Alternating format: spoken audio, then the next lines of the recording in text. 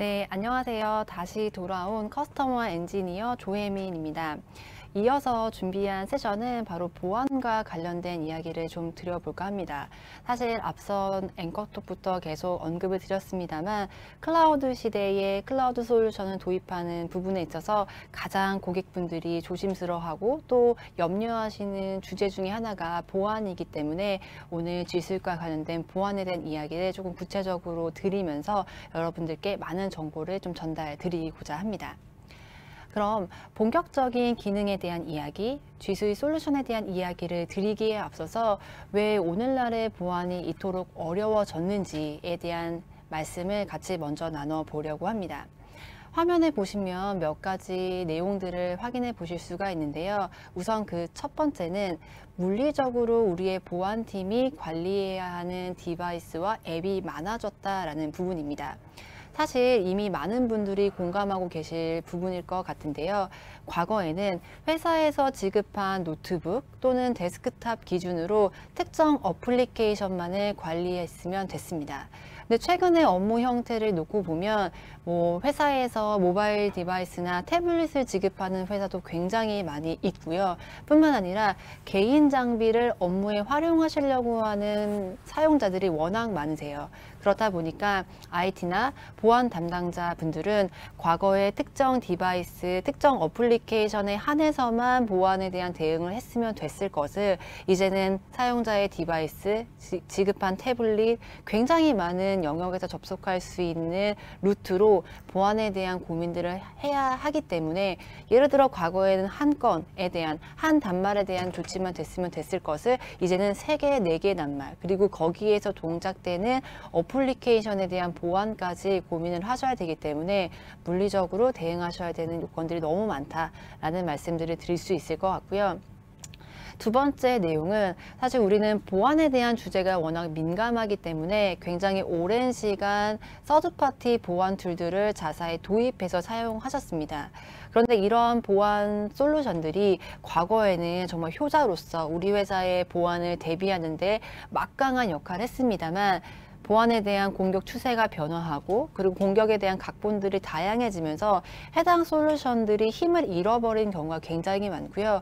그리고 각각의 보안 솔루션들은 서로의 보안 솔루션들을 고려해서 개발된 것이 아니기 때문에 각 보안 솔루션 간의 호환성 문제를 야기시키기도 합니다.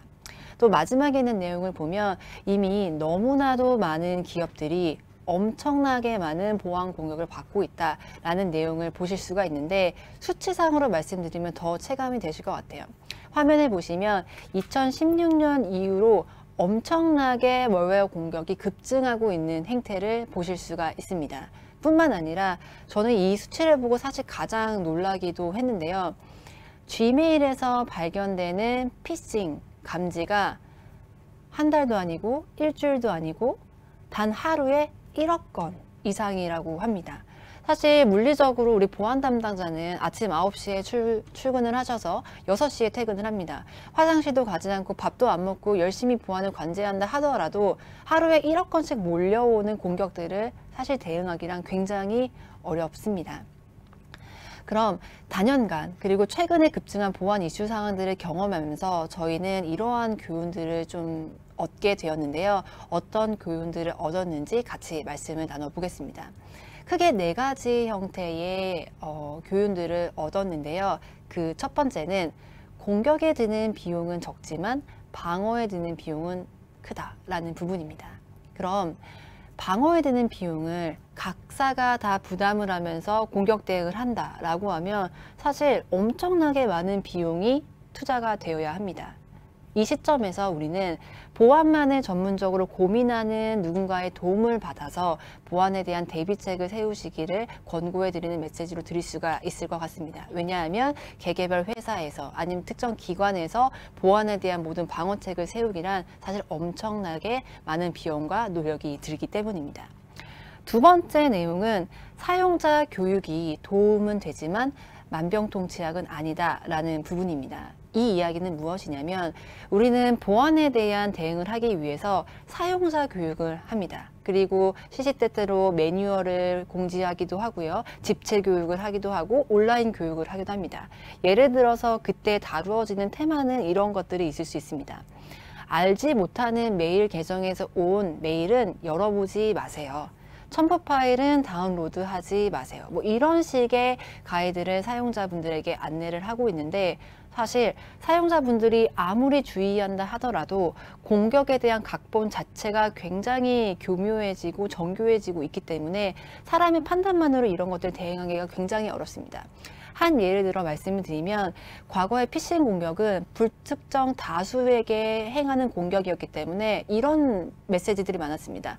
이런 물건이 굉장히 저렴하니까 한번 사보세요. 이 대출 상품 정말 저렴하니까 한번 이용해 보세요. 이런 형태의 안내 메시지가 많이 있어서 그런 정도의 안내 메시지라 하면 사실 저희가 직관적으로도 아, 업무용 이메일에 이런 메일이 오면 이건 스팸이네 이렇게 생각을 할 수 있었는데 최근에 공격하는 유형의 이메일 메시지 패턴들을 보면 지금 당신의 패스워드가 위험합니다. 저는 IT 보안팀인데 패스워드를 좀 교체해 주세요.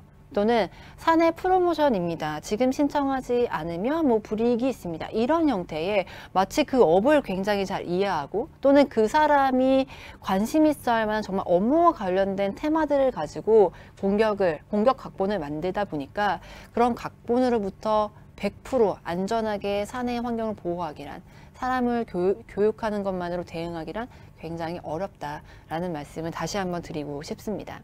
세 번째 부분은 우리는 이미 사실 많은 그리고 강력한 보안 툴들을 도입했다고 생각을 하고 계시거든요. 근데 문제는 그 보안 툴이 설계됐을 때의 보안 공격의 패턴과 지금의 양상은 다릅니다.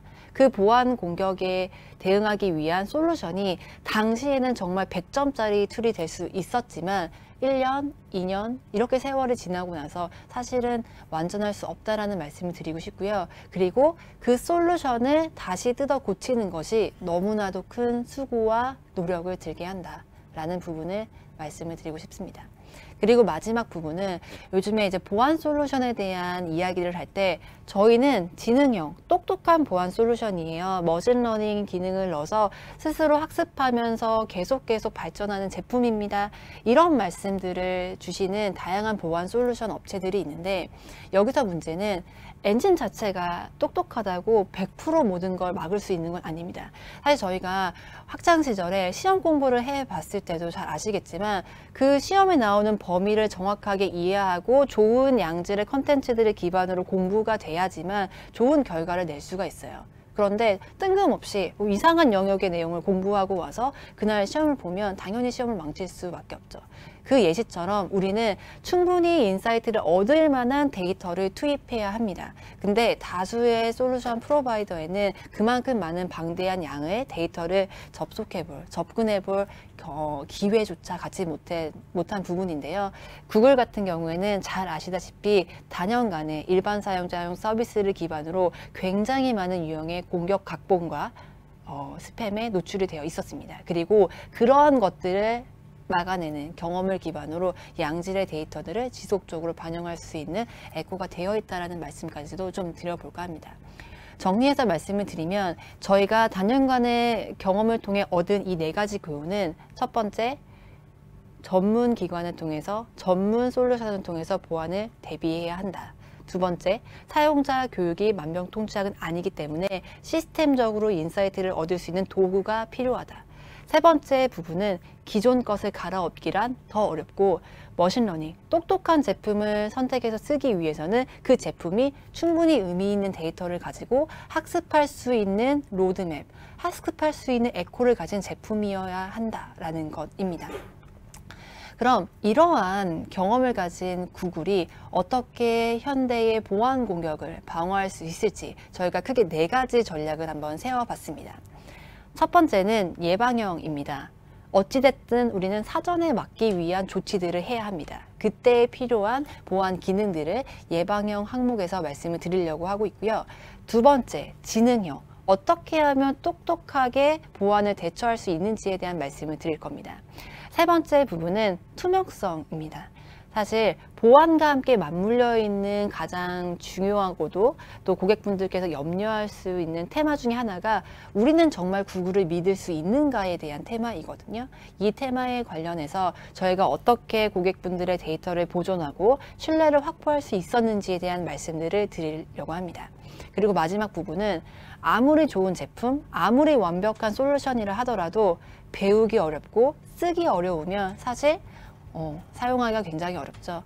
G수잇의 보안 기능이 얼만큼 단순하고 쉽게 활용될 수 있는지에 대한 부분까지도 다뤄보도록 하겠습니다.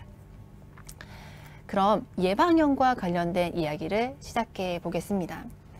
화면에 보시면 G수잇의 이메일은 더욱이 이메일 보안은 저희가 자부하는 보안에 대한 대응책을 세우는 제품 중에 하나입니다.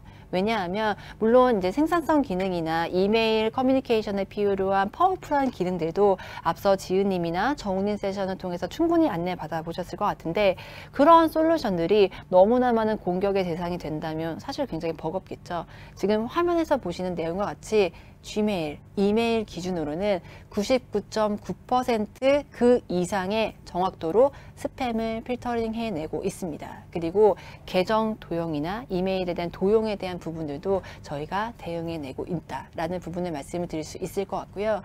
뿐만 아니라 요즘에 이제 워낙 보안 공격에 대한 각본들이 다양해지면서 월웨어뿐만 아니라 랜섬웨어에 대한 공격 유형들도 많이 고민을 하고 계신데 이러한 것들을 포함한 보안에 대한 대응책이 G Suite, Gmail 기준으로는 마련이 되어 있다라고 이해를 해주시면 좋을 것 같고요. 매건, 매일 일반 사용자용 그리고 기업용에서 수집되는 엄청나게 많은 보안 공격 루트들을 해석하고 그것을 대응하기 위한 조치들이 G Suite 엔진단에서는, 엔진단에서는 가장 강력하게 되고 있다는 부분도 같이 염두, 염두에 두시고 넘어가셨으면 합니다. 회의와 관련된 보안 기능들도 사실 엄청납니다. 최근에 이제 코로나 사태로 인해서 대면할 수 없는 환경에 놓인 직군이 워낙 많죠. 사실 그 중에서도 뭐 학교라던가 아니면 기관들이 그 대상이 될 수 있는데 몇몇 업체의 제품에서는 그런 생산성 기능을 쓰는 목적으로 도입을 하셨지만 보안 사고에 여실히 노출되는 경우들을 경험하셨습니다. 회의를 하는 도중에 악의적인 사용자가 그 회의에 조인을 해서 민감한 컨텐츠들을 막 공유해 버리는 경험들 이런 것들을 타사의 솔루션을 통해서 경험하시면서 많은 고객분들이 우리는 이제 안전한 솔루션을 가지고 커뮤니케이션을 하고 싶다라는 말씀들을 많이 주고 계신데요. 그때 저희가 대안으로 제안 드리는 것이 바로 G 스윗에 포함되어 있는 구글 Meet 화상회의 기능입니다. 지금 화면에서 안내되는 내용과 같이 구글 Meet은 enterprise 고객의 아주 중요한 논의를 할 수 있는 고객분들의 업무 환경을 위해 마련된 솔루션입니다.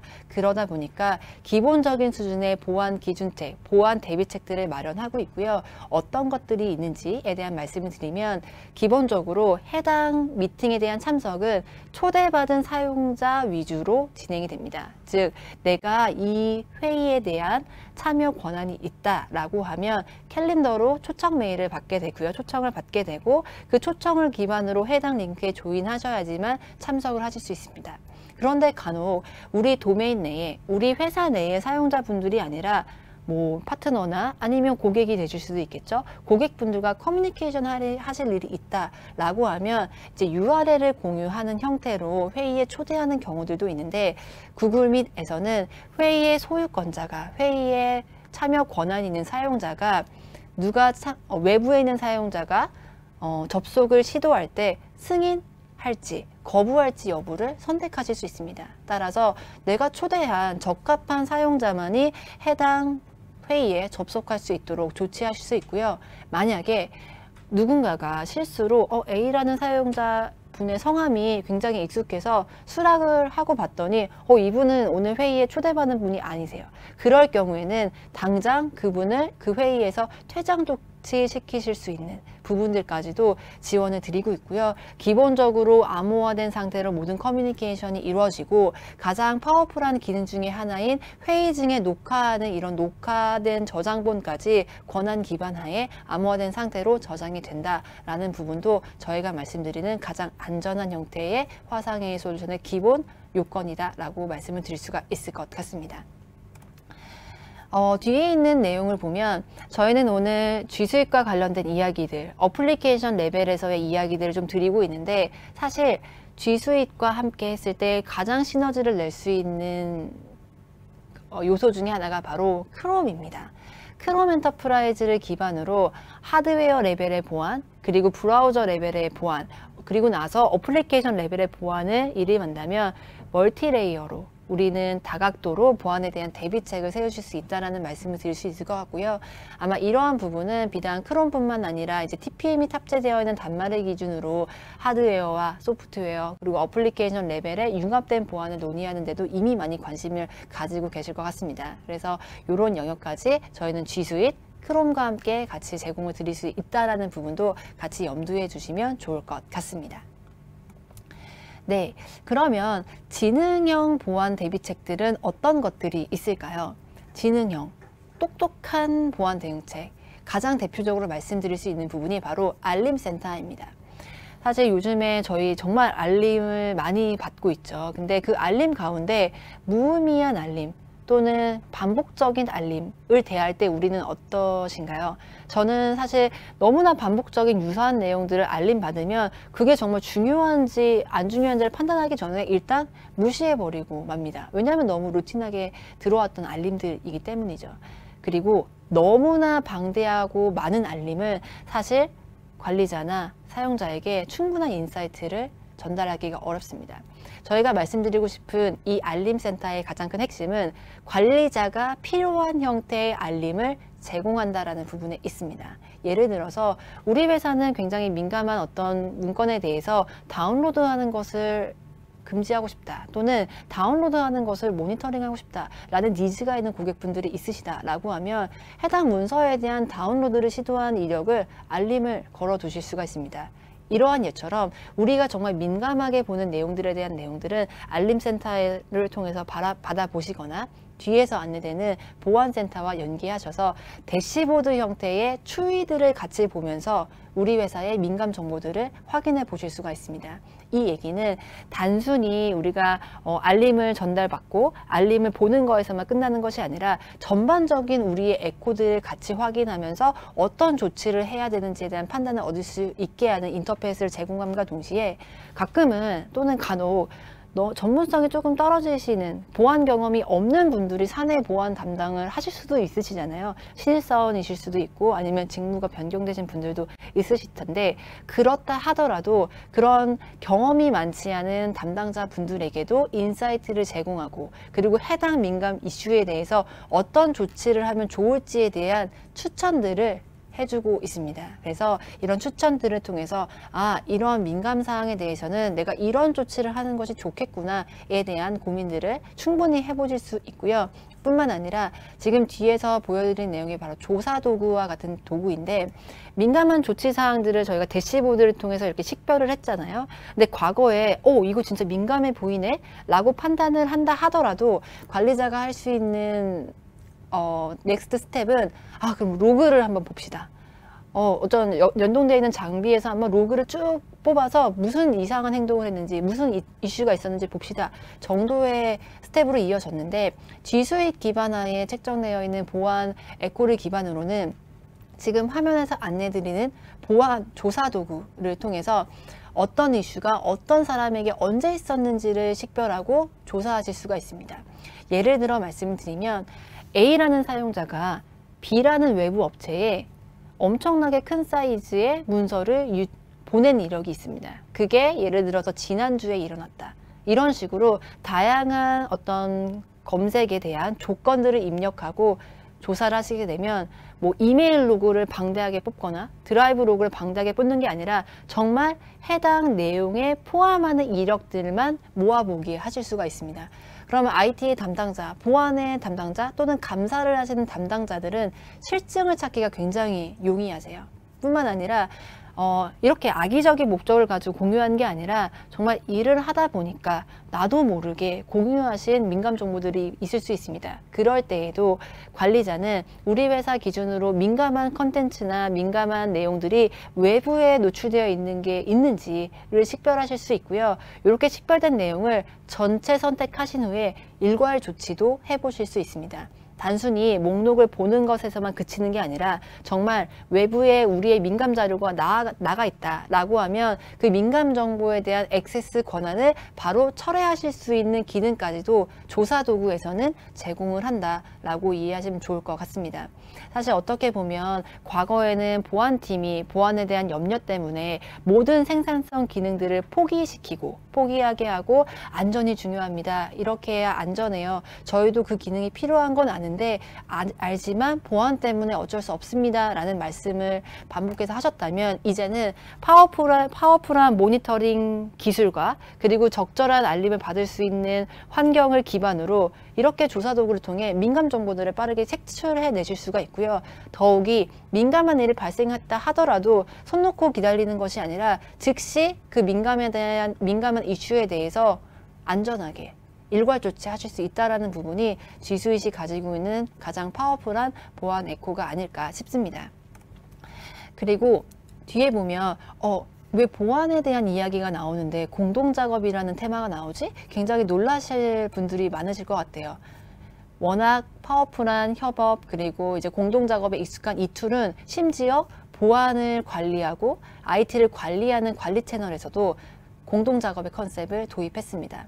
화면에 보시면 우리는 A라는 관리자, B라는 관리자가 항시 붙어서 모든 관리 관제를 할 수가 없어요. 사람이기 때문에 휴가도 가셔야 되고 가끔 출장도 다녀오셔야 되고 굉장히 부재한 경우가 많으시잖아요. 그럴 경우를 대비해서 특정 보안 조치를 이분께서 A라는 분께서 일정 부분까지 조치하고 마무리를 하셨다라고 하면 그 이후의 작업은 다른 팀원에게 이관해서 이후의 작업이 될 수 있도록 하는 조치까지도 G스윗의 보안 에코에서는 가능합니다. 그래서 온전히 본인이 특정 시스템의 책임을 맡고 자리를 비울 수도 없이 어떤 일에 매몰되어 계셨던 경험이 있으시다라고 하면 이제는 G스윗의 파워풀한 보안 기능과 공동 작업까지 할 수 있는 이런 기능들을 기반으로 업무 분장을 조금 어, 유연하게 하셔서 그럼에도 안전한 형태의 보안 대응이 될 수 있는 환경을 마련해 보셨으면 합니다. 네. 이 기능은 최근에 고객분들이 정말 가장 많이 질문 주고 계신 영역 중에 하나입니다. 바로 데이터 유출 방지와 관련한 기능인데요. 최근에 이제 개인정보에 대한 유출 사고라던가 사내에 정말 중요한 어떤 기밀들이 새어나가는 경험들을 하시면서 어떻게 하면 보다 안전하게 우리의 사내 중요 정보를 보호할 수 있을지를 고민하십니다. 화면에 보시면 구글 G 수입 그리고 Gmail과 드라이브 기반으로 제공되는 DLP, 기, DLP 기능을 기반으로 민감한 키워드나 민감한 패턴이 포함되어 있는 내용들을 식별하시고 유출을 방지할 수 있도록 조치하실 수 있습니다. 예를 들어서 우리 회사 직원분들 가운데 특정 문서로 개인정보, 뭐 여권 정보가 될 수도 있고 아니면 이제 주민등록번호가 될 수도 있는데 그런 개인정보를 누군가에게 공유하려고 한다. 더욱이 그 공유하려는 대상이 외부 사용자다. 라고 하면 그 문서 자체를 이메일이나 드라이브로 공유하지 않게 정책을 만드실 수 있습니다. 물론 가장 강력한 정책은 금지하는 정책일 텐데 이런 것들을 백단에서 모니터링 하도록 조치하실 수도 있기 때문에 자사의 보안 규정에 따라서 유연하게 DLP 정책을 내려보실 수가 있고요.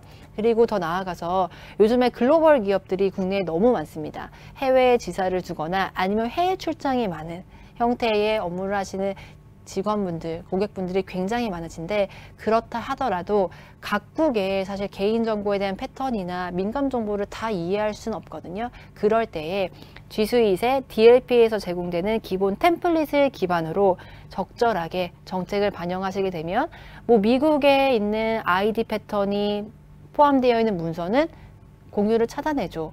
또는 유럽에 또는 어느 국가에 중국에 일본에 이런 식의 템플릿들을 활용하시게 되면 충분한 개인정보에 대한 insight가 없는 관리자라 하더라도 굉장히 빠르게 DLP 정책을 적용해 보실 수 있다라고 말씀을 드릴 수 있을 것 같고요. 그리고 G스윗의 기본은 다국어 서비스입니다. 예를 들어서 우리 회사의 어떤 신상품 정보가 뭐 AAA 이렇게 불린다라고 하면 그 키워드가 한국어로 표시되던 영어로 되던 일본어로 되던 중국어로 되던 식별을 합니다. 민감한 키워드로 포함이 되어 있다라고 하면 필터링을 할 수 있는 다국어 기능까지도 DLP에는 포함이 되어 있다라고 이해를 해주시면 좋을 것 같습니다. 네, 세 번째 파트는 바로 투명성과 관련된 이야기를 좀 드려볼까 합니다. 이 투명성에 대한 부분은 구글이 여러분들께 드리는 약속이라고 말씀을 드리고 싶은데요. 워낙 구글이 광고를 잘하는 회사이고 단연간 이 광고 비즈니스로 이제 업계의 선두를 자리 잡다 보니까 enterprise 솔루션을 도입하는 고객 입장에서는 구글은 광고 회사다 라는 인식이 굉장히 많습니다. 그러다 보니까 혹시나 우리의 기업 정보나 아니면 우리의 이런 사용성들을 기반으로 우리를 광고에 이용하는 것은 아닌가 아니면 우리 데이터를 그런 곳에 활용하시는 건 활용하는 건 아닌가라는 이제 막연한 걱정을 하고 계신데요. 오늘 이 자리에서 다시 한번 확실히 말씀드리고 싶은 부분은 화면에서 안내되는 내용과 같이 명확합니다. 고객의 데이터는 절대 구글의 소유가 아니라 고객분들의 소유입니다. 그렇기 때문에 저희가 소유하지 않은 데이터를 가지고 광고를 하지도 다시 가공하기 하지도 제3자에게 드리지도 못합니다. 왜냐하면 저의 소유가 아니기 때문이죠. 그래서 이러한 신뢰를 바탕으로 아 우리가 사용하는 우리의 데이터는 구글의 서비스를 쓸 뿐이지 우리의 소유이구나 라는 확신을 가져주시면 좋을 것 같고요. 이런 내용들은 구글의 입으로 아 저희는 정말 안 봅니다 하고 그치는 것이 아니라 제3자의 감사와 인증을 받고 있습니다. 이런 인증을 기반으로 정말 고객분들의 데이터를 저희가 소중히 다루고 있다라는 부분 다시 한번 강조드리고 싶습니다. 네, 이 부분은 볼트와 관련된 부분인데요. 어, 뭐 이메일이나 문서 중앙화 솔루션 그리고 뭐 채팅 솔루션 기타 등등 이런 협업 솔루션들을 쓰다 보면 자연스럽게 업무의 모든 것들이 이 솔루션에 기록이 되게 됩니다. 그런데 어, 이런 일이 있으면 분명 안 되지만 가끔씩 기업들은 송사에 휘말리는 경우가 있으세요. 뭐 특허 분쟁이 되실 수도 있고 정말 다양한 시나리오로 다양한 이야기거리들로 송사에 휘말리시는 경우들이 있는데 그럴 때에 법적 증빙 자료를 적절하게 제출하지 못하는 경우는 오히려 그 회사에 불이익을 받는 경우들이 많습니다. 그래서 많은 고객분들이 이메일을 아카이빙 하시거나 아니면 하드디스크 자체를 이제 물리적으로 보관하시거나 이런 식으로 그런 법적 증빙 자료를 제출하기 위한 목적으로 굉장히 많은 투자를 하고 계신데 그럴 때의 부담스러운 부분이 뭐냐면 스토리지 비용도 스토리지 비용이고 그렇게 물리적으로 보관했던 것들이 문제가 생기면 복구할 방법이 없다라는 부분입니다. 그래서 그런 것들을 뭐 2중화, 3중화까지 하시는 고객분들도 계신데 이제 G Suite 기준으로는 그런 백업에 대한 걱정, archiving에 대한 걱정, 걱정, 그리고 법적 증빙 자료를 우리가 어떻게 내야 되지에 대한 걱정을 걱정거리로부터 해방시켜 드릴 수가 있습니다. 바로 구글의 Vault, G수잇의 볼트라는 기능은 여러분들의 데이터를 법적 증빙 자료로 추출하실 수 있도록 보관하실 수 있는 기능인데요. 한 예로 특정 사용자가 악의적인 목적을 가지고 본인의 이메일을 싹 지우셨어요. 그렇다 하더라도 사내 정책이 특정 기간, 기간 동안 이메일을 보존하도록 가이드하고 있다라고 하면 법적으로 보존될 수 있는 기간만큼 볼트 기능 통해 보존이 됩니다. 그리고 관리자는 그런 송사에 휘말리는 경우 아니면 증빙 자료로 활용해야 되는 경우가 발생을 하면 이 볼트에서 제공하는 검색 인터페이스를 기반으로 자료들을 추출하실 수 있고요. 바로 법적 증빙 자료로 추출해내실 수 있는 인터페이스까지 같이 제공을 드리고 있습니다. 정리해서 말씀을 드리면 고객분들이 지금 데이터에 대한 보존, 아카이빙에 대한 고민들을 하고 계신 분들이 계시다라고 하면 이 볼트 기능을 통해서 자사의 아카이빙 그리고 자사의 백업 솔루션들을 좀 이관해 보시기를 권고를 드리도록 하겠습니다. 그리고 더욱이 강조드리고 싶은 부분은 G스윗은 이제 다양한 라이선스들이 존재하고 있는데 이 기능은 비즈니스 라이선스에서 사용이 가능한 모델입니다. 잘 아시다시피 비즈니스 라이선스는 무제한 저장소를 제공하고 있거든요. 그래서 이런 혜택을 가장 잘 누릴 수 있는 기능이기도 하기 때문에 좀 집중해서 어, 봐주시고 검토해 주시면 감사하겠습니다. 네, 마지막 항목입니다. 바로 단순성에 대한 부분입니다. 사실 어떻게 보면 어, 앞서 말씀드린 기능들이 와 저런 기능도 되네, 오 이렇게 다양한 기능이 있었어? 라고 생각을 하신 분들이 계셨다면 아 근데 관리하기가 조금 버겁겠는데 또 이렇게 생각하시는 고객분들도 계실 것 같아요.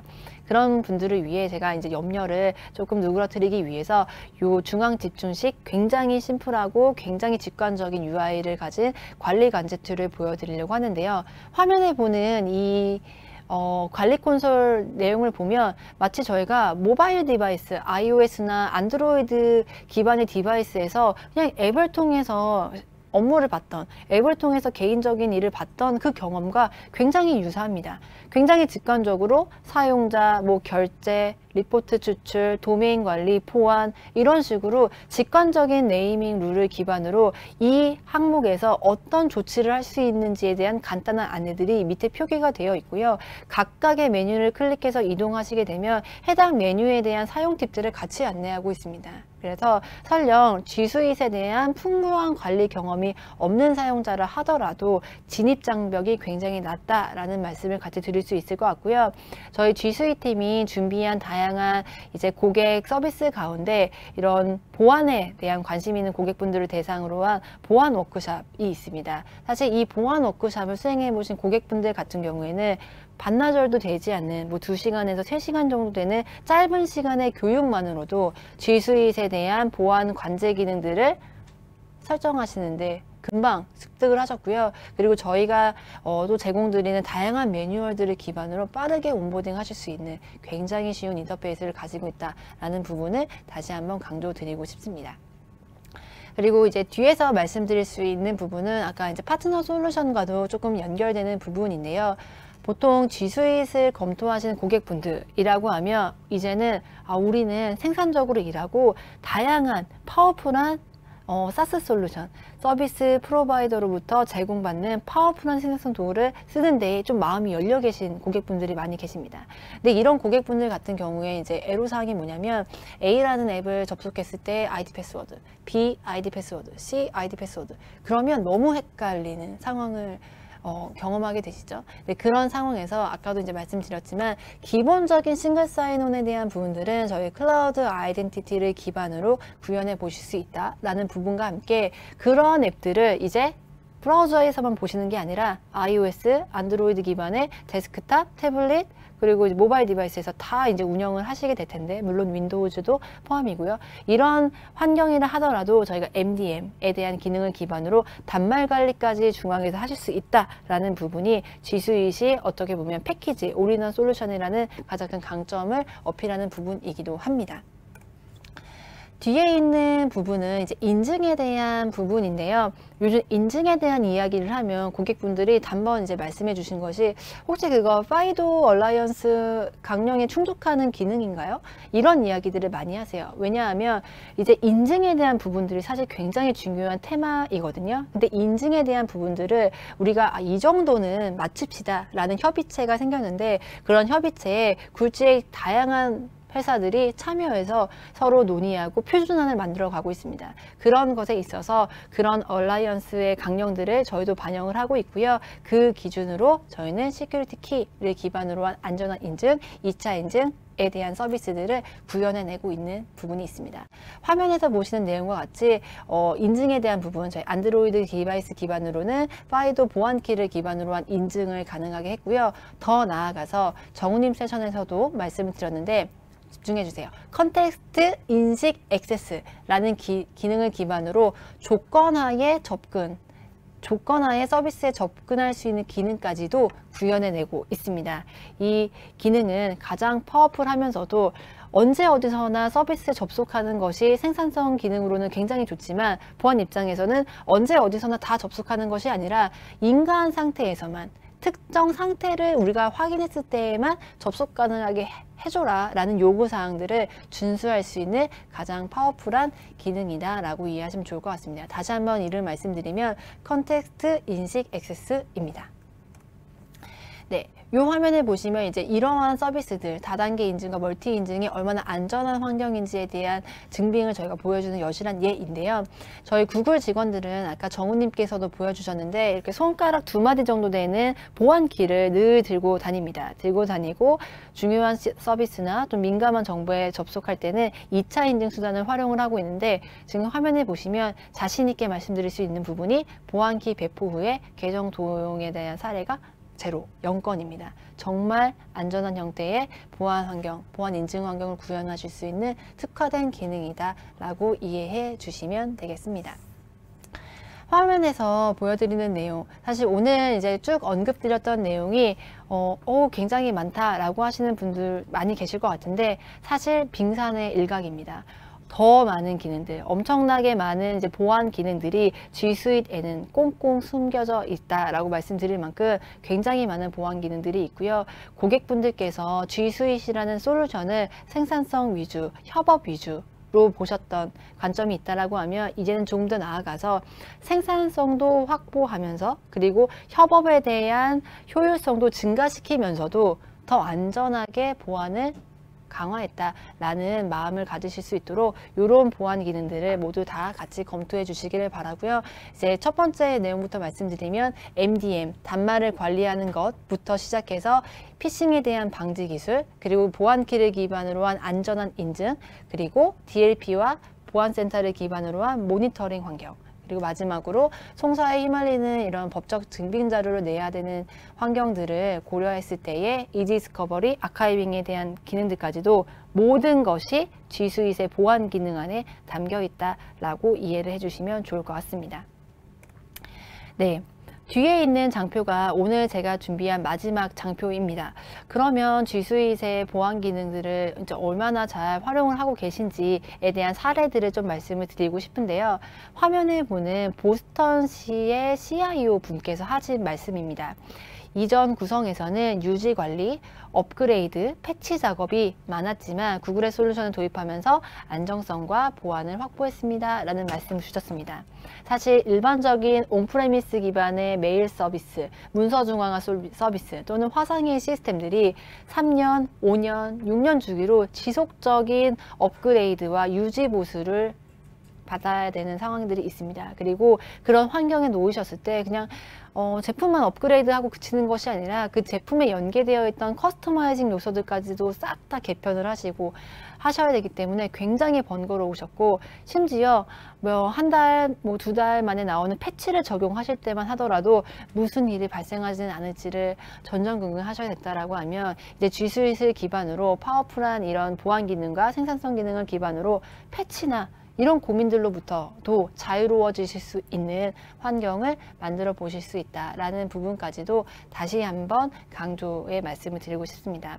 네, 오늘 제가 준비한 세션은 여기까지이고요. 보안에 대한 다양한 팁들을 얻어 가셨 아, 얻어 가실 수 있으셨으면 합니다. 아울러 만약에 지금 우리는 G수잇의 베이직과 비즈니스, 그러니까 기본적인 사용성만을 고려하는 edition을 사용하고 있는데 우리는 보안에 대한 이런 심화 기술들을 실제로 한번 테스트를 해보고 싶다. 아니면 한시적으로 적용해보고 싶다. 라고 생각하시는 고객분들이 계시다 라고 하면 담당 영업을 통해 언제든지 말씀해 주세요. 그러면 저희가 찾아가는 세미나를 통해서 보안에 대한 뭐 레벨 200에서 300 정도의 세미나를 전달해 드릴 수가 있고요. 그리고 테스트 계정을 기반으로 한 powerful한 보안 기능에 대한 테스트를 해보실 수 있는 에코까지 마련을 해 드릴 수가 있습니다. 그래서 이 부분까지도 다시 한번 염두에 두시고 오늘 세미나가 끝이 아니라 시작이라고 생각을 하시고 보안에 대한 다양한 질문들을 주시면 감사하겠습니다.